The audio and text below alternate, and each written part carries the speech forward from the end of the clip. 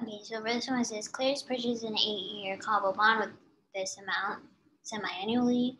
The bond has face value 3000 redemption 28. The purchase price assumes that it will be called fourth year of 2900 and we have for the bond is period of uh, calculate Okay, so for this problem, it says that, well, 10% coupon rate, semi-annual. So it would be 5% coupon rate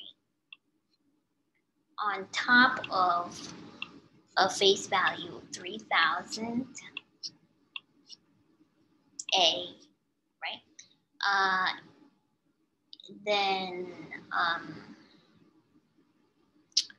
then semi-annually, the bond has 3000 Okay, the purchase price assumes the bond is called at the end of the fourth year, right?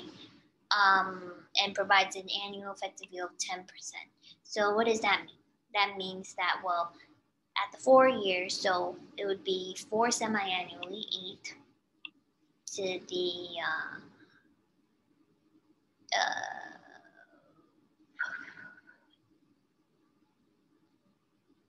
to the annual effective yield of 10%. Well, we would have to convert it to semi-annual since there are semi-annual payments. So 1.10, 1 plus j squared. So we're going to do uh, 1.10 to the 1 over 2. And then minus 1 and then we're going to get 4.88%. Then it says that uh, the purchase price assumes the bond is going to be called at the end of the fourth year, so we're going to make it be called at 2900 back to the eight. So now we want to calculate what this is. So 3,000 times 0.05 is going to be 150. So 150 as the payment, 8 as the number of years, 420 2900 as the future value to the present value, and get uh, 2955.08. Now it says immediately after the first coupon is received, the bond is called for 2,960 and Claire's annual February high calculate. Okay, so it starts with purchase an eight year with 10% payable, the bond, okay. So now, even though Claire purchases this bond with these types of credentials, the purchase price still assumes that the bond will be this and that. That's what we sell for here. So now the actual purchase price of the bond would be 2009 Now, based upon how much this bond is worth, it says immediately after the first coupon is received, the bond is called for 2009.60.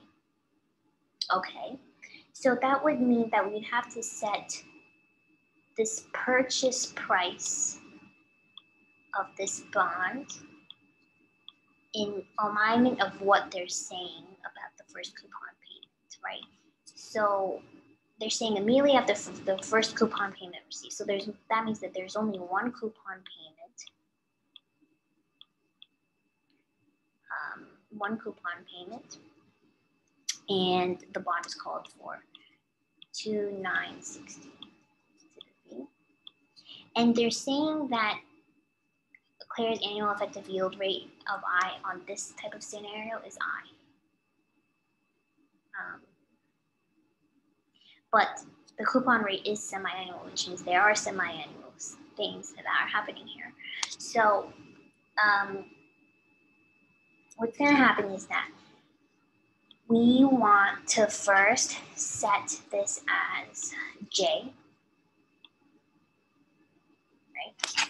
So now what we're going to do is that we're going to do 2955.08 as the present value, 150 as the payment, 1 as the number of payments, because only first coupon, first coupon payments have occurred.